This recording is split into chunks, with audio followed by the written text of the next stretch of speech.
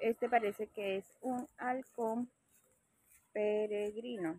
¿Qué va Mario por ahí?